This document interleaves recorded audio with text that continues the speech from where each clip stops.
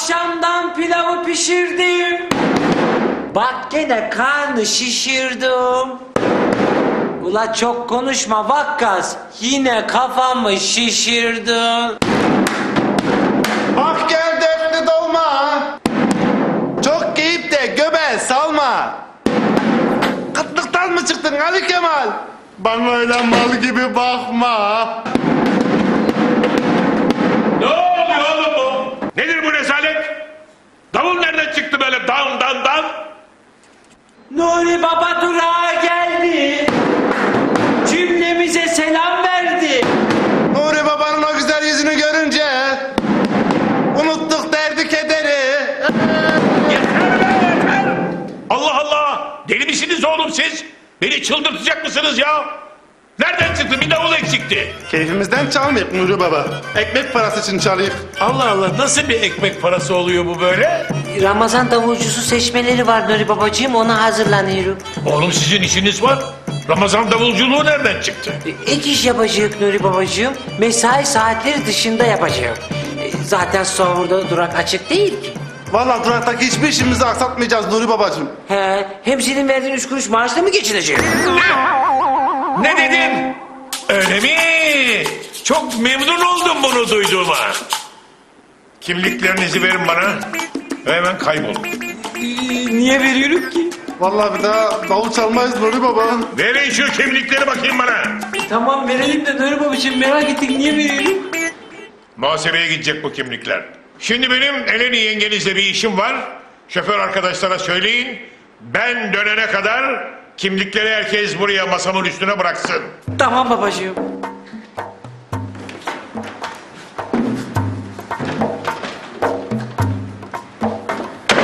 Vakkas şimdi yandık bizi işten kovacak da. Ya hep senin yüzünden Ali Kemal.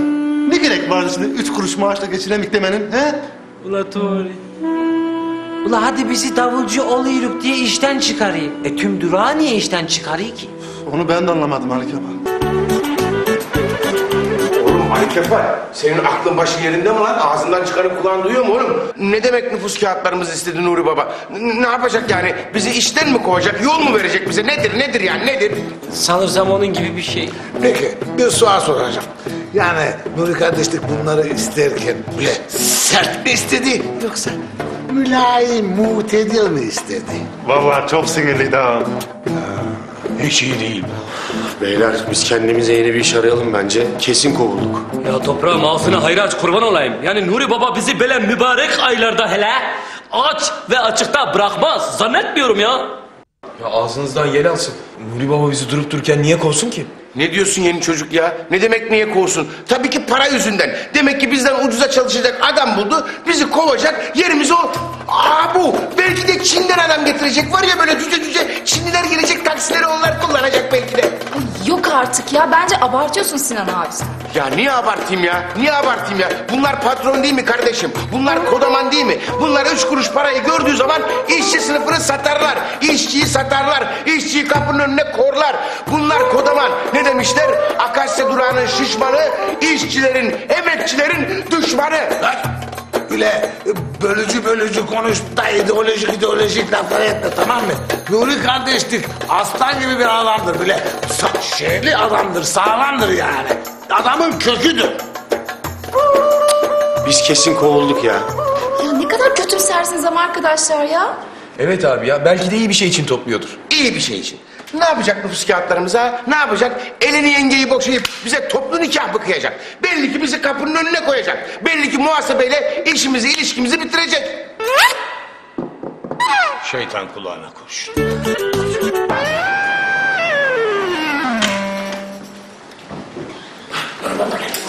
Nuri Baba, hoş geldin Nuri Baba. Buyur gel böyle otur. İstersen arkana yastık koyayım, rahat edersin Nuri Baba. Allah Allah. O nereden çıktı ya? Garip. Hepinizde bir tuhaflık var bugün. Asıl tuhaflık sende kardeşlik.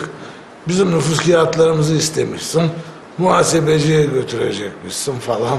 Yani bir hata mı ettik? Siz hepiniz bilirsiniz hatanızın ne olduğunu. Ben yıllarca size elimden gelen yardımı yapmaya çalıştım. Patrondan çok babanız abiniz gibi olmaya çalıştım. Ama siz ne yaptınız? Yok artık yeter. Yok burama geldi artık ya. Bu kadar sorumsuzluk olmaz. E, tamam anlaşıldı. E, artık yolun sonuna geldik demek ki.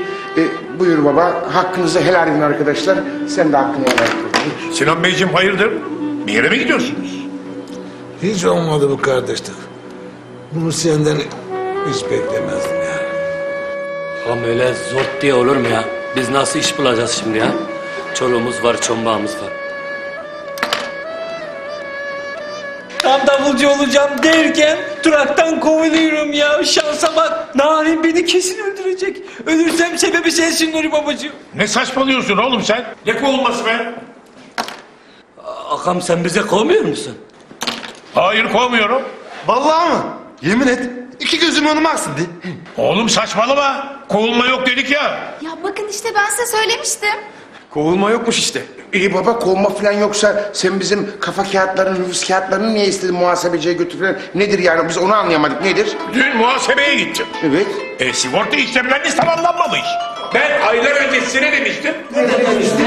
Arkadaşlar kimliklerinizi götürün verin. Şu sigorta işleriniz bitsin dememiş miydim? Ee, sonra ne oldu? Ne oldu? Hiçbiriniz kimliklerinizi vermemişsiniz. Sigorta işlemleriniz tamamlanmamış. Bu ne sorumsuzluk ya? Beni kendinize rehber alın. Beni örnek alın. Seni niye örnek alsınlar? Sen de vermemişsin kimliğini. Ben, ben, ben de mi? Arkadaşlar, bu sigorta bu sigorta. Sizin garantiniz. Şimdi gençsiniz. İleride yaşlandığınız zaman hastalığı var, emekliliği var. Yapmayın çocuklar böyle ya. Vallahi bu lafların altına bile imzamı atarım. Osman Şentürk olarak. Biliyorsunuz bu özel hastaneler ateş pahası. Onun için mutlaka sigorta yaptırmanız lazım. Mutlaka. Yani şimdi Nuri Baba sen bizi kovmuyorsun. Bir de üstüne üstlük sigortamızı yapıyorsun. Ben doğru mu anladım ya? Vallahi çok şaşkınım ama evet beni ilk defa doğru anladın Arif. Arkadaşlar Nuri Baba bizi kovmuyor. Üstüne üstlük sigorta yaptırıyor. En büyük baba. Nuri Baba. En büyük baba. Nuri Baba. Nuri Baba. Bizi sigorta alır.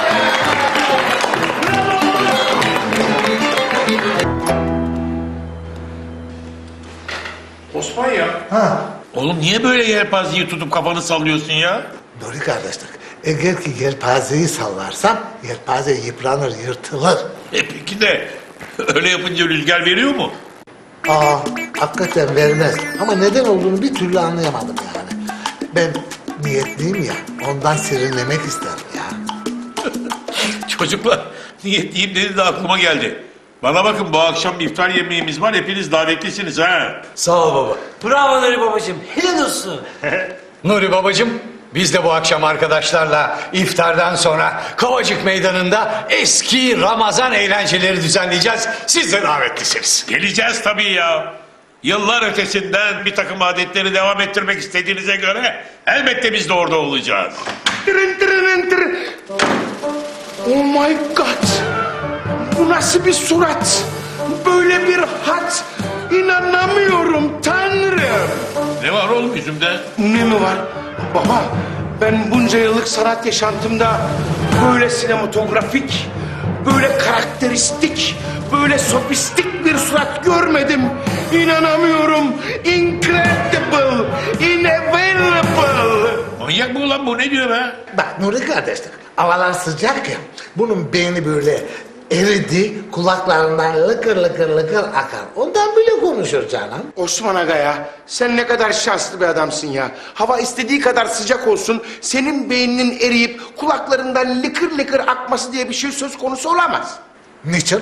Niçini var mı? Çünkü olmayan şey nasıl erir de kulaklardan lıkır lıkır akar değil mi ama? laf söyledi bal kaba. Şimdi sana bir laf oturttururum ben ama hadi neyse. Dua et ki niyetliyim yani. Ayıp bir günah. evet niyetlisin bunu biliyorum ama bana karşı niyeyse hep art niyetlisin Osman Aga. Neyse seninle daha fazla uğraşamam. Benim önemli işlerim var. Güven gel lan gel içeri çabuk çabuk çabuk çabuk. Hello. Ee, Baba bu arkadaşın adı Thomas. Ona hiçbir laf komaz. Ee, bu arkadaş bizzat kendisi film yapımcısı. Anlamadım. Ee, Nuri amca, e, Thomas abi ve arkadaşım Ersin Almanya'dan tarih filmi çekmek için geldiler. E, eniştem de onlara yol yordam gösteriyor. Ee, Evet baba eğer iznin olursa ben arkadaşlara mihmandarlık yapacağım. Tabii izin verirsen iznin olursa yani. Sinan abicim filminde bana rol verir misin? Ee, bırak bunu Sinan abi. Rolü bana ver bana. Tamam arkadaşlar tamam hepinize bir rol vereceğim. Sakin olun oturun ya. Ne diyorsun baba iznin var mı? Abi bana bulaşma. Benden uzak dur. Ne yaparsanız yapın. Buyurun. Eyvallah baba sağ ol. E, Emre yeni çocuk bana bak yeni yapacağım filmde Malkoçoğlu'nun rolünü oynamak ister misin? Yok abi ben almayayım. Ben anlamam oyunculuktan falan. Ben alayım Sinan abicim ben alayım. Malkoçoğlu'yu ben alayım. Sinan abi ben alayım ben. Ben e, Bursa Kılıç Kalkan ekibinin e, sağdan ikincisiydim. Hadi be ben çok iyi kılıç sallarım, çok iyi ata binerim. Gerekirse kaleyi bile fethederim. Hadi lan senden Malkoçoğlu'nun olsa olsa malı senden de koçu olur. Siz Malkoçoğlu'nun ancak beygirini oynarsınız. Eşeğin sıpaları. Hadi be. Ne oluyor ya? Malkoçoğlu.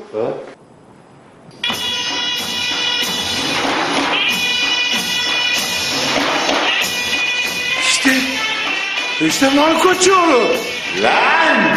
Ne Malkoçoğlu'su nereden çıktı ya?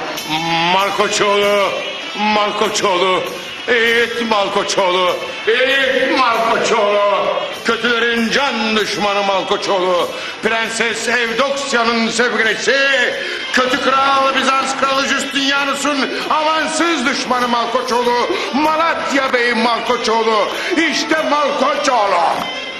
Nuri baba, bunun son kullanma tarihi geçti mi ya? Bana bak Arif'im tarifim. Senden ne Malkoçoğlu olur biliyor musun? Sen bu dünyaya Malkoçoğlu olmak için gelmişsin ama ne yazık ki birkaç asır geç kalmışsın. Ne dersin yeni filmimde Malkoçoğlu'nu oynamak ister misin? Film mi? Ha, filmde oynatacaksın.